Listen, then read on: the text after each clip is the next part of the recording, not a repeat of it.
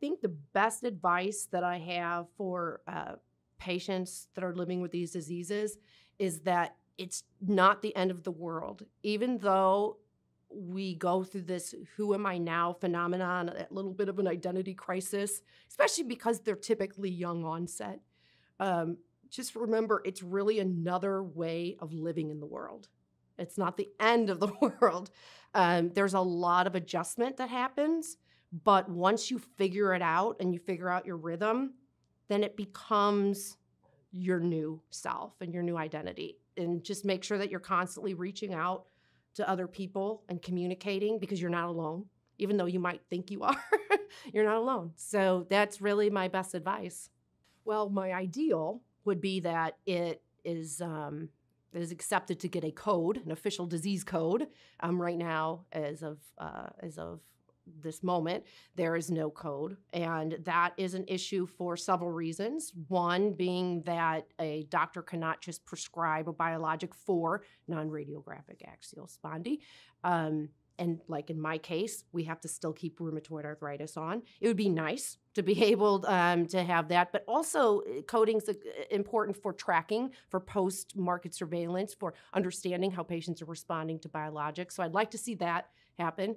Um, but also, as a nonprofit, we do a lot in innovative innovation and research. We're actually award winners um, for some of our projects in, in in utilizing the patient voice in research.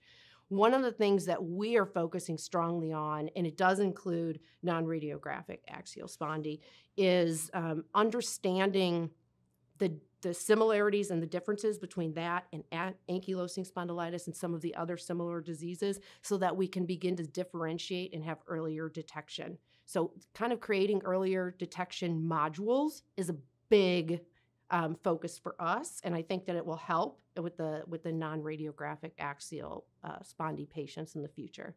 One of the things that I hope will happen um, is that when patients present with these symptoms, historically, uh, when biologics were a little less advanced, so I'm even just talking a decade ago, or not even that long ago, but a lot of rheumatologists will tell patients, well, it doesn't really matter what your diagnosis is because you, the treatments are all the same. And that was very true. I mean, and it still sort of is true because insurance dominates the, the biologic you're going to be on, at least to a degree. What I'd like to see happen is A, rheumatologists recognizing that there are differ- differences. For example, I was on a biologic that wasn't indicated for ankylosing spondylitis or spondylitis diseases, and I suffered for a while because I wasn't on the, the best biologic for me. Um, so I'm hoping that the rheumatology community will start to really focus on precision medicine, which they are, um, but I'd like to see that moving forward and understanding which biologics best match which patients because I think that that's where we need to go. There are yeah, there are several of the diseases that don't have biologic treatments. For example, adult onset Still's disease. That's one of the prime focus diseases that we have um, at our organization. That's an autoinflammatory disease, and arthritis is a major component, often misdiagnosed as rheumatoid arthritis also and they they have some they have uh, recently had some biologics that are um, indicated for them, but it's just recent. So in the last couple of years, and then there's other diseases that are still kind of um, there, but they don't have an exact biologic that that works for them. So they're kind of sharing on which biologic mo- matches best. So it's nice to see that there's progression with that. But there are many, especially in the rare community, there are many autoinflammatory diseases that do not have biologics specifically indicated for them. So there's some work to do still.